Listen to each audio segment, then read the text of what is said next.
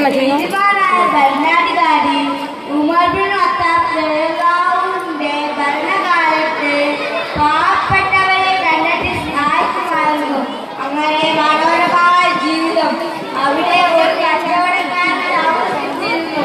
തന്റെ കച്ചവടത്തിൽ നിന്ന് കിട്ടുന്ന സമ്പത്ത് കൊണ്ട് അയാളും അയാളുടെ ഭാര്യ അങ്ങനെ ഒരു ദിവസം അയാളുടെ ഉമ്മ അയാളുടെ അടുത്തേക്ക് വന്ന് പറഞ്ഞു മോനെ എനിക്ക് നല്ല വിശപ്പുണ്ട്. ഇന്നത്തെ ഭക്ഷണത്തിന് വേണ്ടി എനിക്ക് എന്തെങ്കിലും തരണം. ഇത് കേട്ടി അയാളുടെ ഭാര്യ അയാളുടെ ഹൃദയം വന്ന് പറഞ്ഞു നിങ്ങളുടെ ഉമ്മ നമ്മെ ദരിദ്രരാക്കാനാണോ ശ്രമിക്കുന്നത്?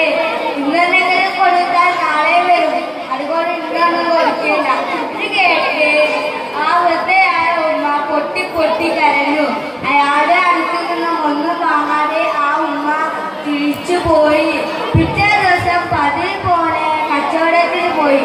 ദൂരത്തിൽ പോയിട്ട് ചേർന്ന് കച്ചവടം.